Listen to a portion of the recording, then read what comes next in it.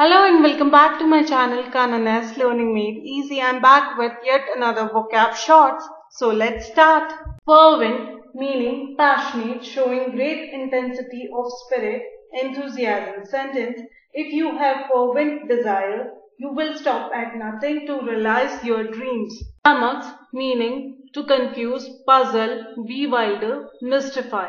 The complicated rules are likely to flummox employees. That's all for now. Bye bye. Take care. Keep learning. Keep revising. Please do like, share and subscribe my channel.